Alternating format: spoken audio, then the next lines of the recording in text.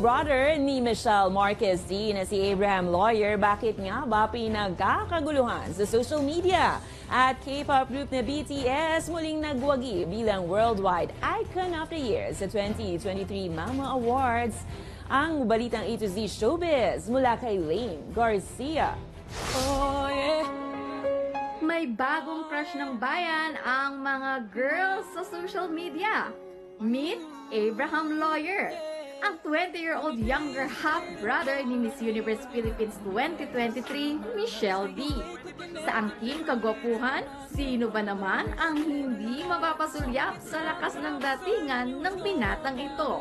Nag-trending si Abraham sa isang video sa TikTok kung saan makikita ang tinutulungan niyang magpasok ng maleta ang kanyang ating si Michelle noong lumaban ito sa Miss Universe 2023 hindi naman napigilan ng netizen na kiligin at magbigay ng positibong komento sa social media.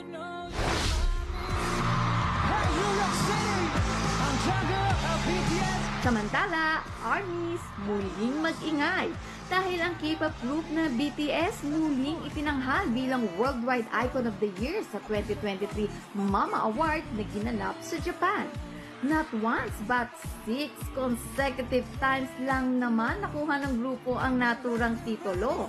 Maliban dyan, muli namang magkakaroon ng kakolab ang BTS member na si Jungkook with the American R&B singer-songwriter na si Usher.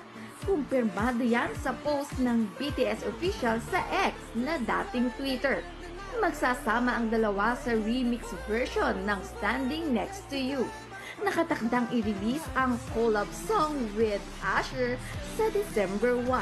Kamakailan lamang rin ay nagkaroon din ng collaboration si Jungkook sa American singer na si Justin Timberlake para naman sa kanyang hit single na 3D. Para sa balitang A to Z Showbiz, Ling Garcia.